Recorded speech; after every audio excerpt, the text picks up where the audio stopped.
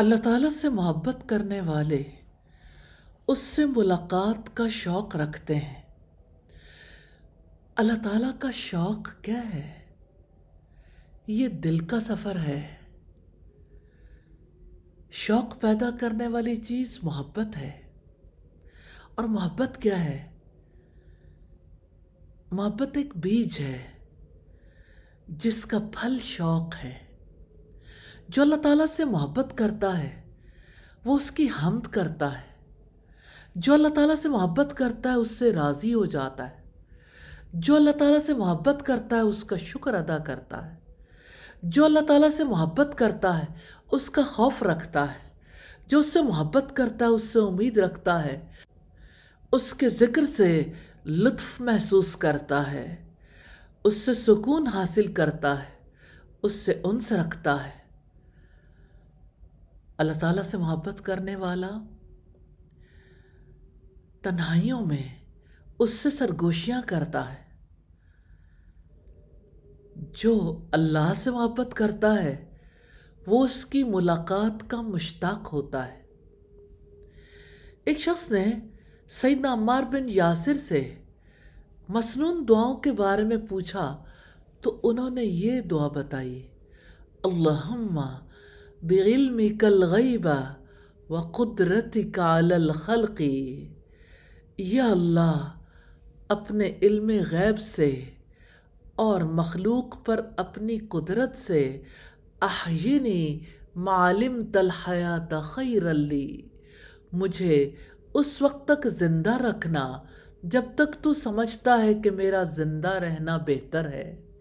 व तवफ़नी इज़ालिम तल वफ़ा तखैरली और मुझे वफ़ात दे देना। जब मेरा मरना बेहतर हो। अल्लाहुम्मा इन्नी असअलुका खशियत कफ़िल गईबी व शहादा। या अल्लाह, मैं आपसे आपकी खशियत का सवाल करता हूँ। खुले हुए भी और छुपे हुए भी। व असअलु का कलीमत हक़ी फ़िल गज़बी रिदा।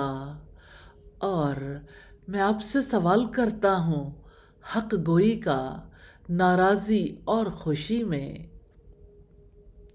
व असअलु कल कसद फ़िल फ़क्री वलगना और मैं आपसे सवाल करता हूँ, मोहताजी और खुशहाली में म्याना रवि का, व असअलु का नाइम अल्लाफत और आपसे सवाल करता हूँ, ऐसी नेमत का जो कभी ख़त्म ना हो। व कुर्रत आइन ला तनक़त। और आँखों की ठंडक का, सुकून का जो कभी मुनक़ते ना हो। व असअलु कर रिदा बादल क़ज़ा। और मैं आपसे सवाल करता हूँ, क़ज़ा के बाद रज़ा का। व बरदल आयशी बादल मौत और मौत के बाद ज़िंदगी की ठंडक माँगता हूँ। व असअलु का लज्जत नजरी इला वजह का और मैं आपसे सवाल करता हूँ, मौत के बाद आपके दीदार की लज्जत का।